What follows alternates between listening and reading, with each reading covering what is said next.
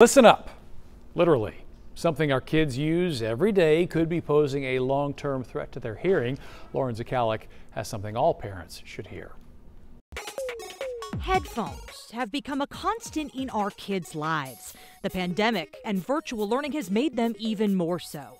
The problem, says Lisa Vaughan, is that our homes and lives are noisy and our kids keep hiking up the volume to compensate. That's what we worry about. We worry about these kids turning things up to the maximum amount of volume because of all the other things in the household.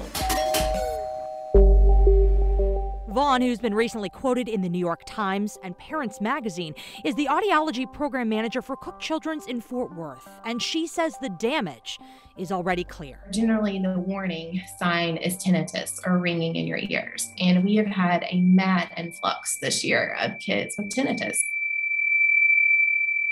Before it gets worse, she has some tips for parents. The first, keep home noise at a minimum so your kids don't have to use headphones in the first place. You can not do dishes, not do laundry, not vacuum your floors, like save those things for the evenings. If your kids can't avoid other noisy situations, Vaughan says they should use protection. Earplugs go a long way. Also, invest in listening devices that are safer for your kids' ears. They have volume limiting headphones for children that you can purchase and have honest conversations with them about their hearing and how it can't be replaced. There's not a magic surgery, there's not a magic pill. It's when it's gone, it's gone. For more tips, head to WFAA.com.